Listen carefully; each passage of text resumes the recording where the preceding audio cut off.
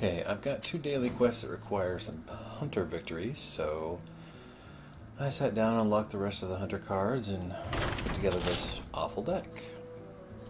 Starts up with the Hunter's Mark. Now I know people don't really like this as removal, at least from what I've seen, but with the starter deck, it's I think it's still very good.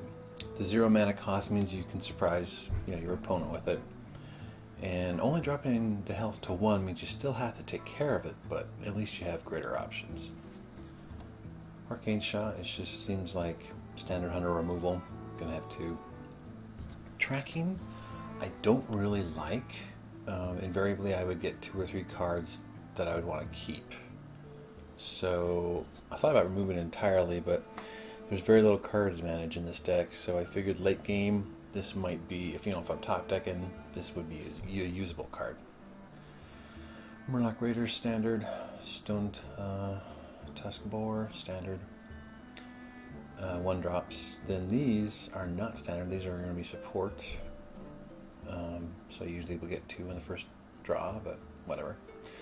Um, Bloodfen standard, Nat, Pagle. I still want to use this card just because it's it's a legendary that I happen to have. I only have like two or three, so I'm not, I gotta use it. Um, River Crocolisk, standard. Starving Buzzard, one of the signature hunter cards.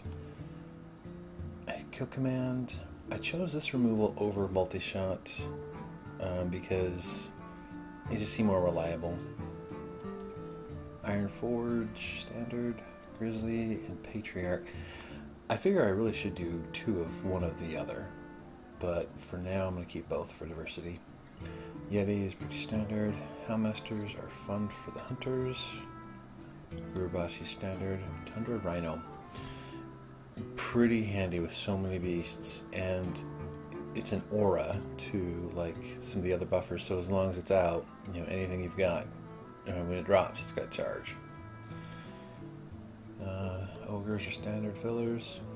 the beast, a risky card, but with uh, with a hunter, it's got enough synergy that I want to take the risks. Because in the, the, you know in the AI games I've I've taken on so far, it's every time it's performed very well. And uh, Champion's pretty regular, so see what it's out, uh, see what it's like out in the field.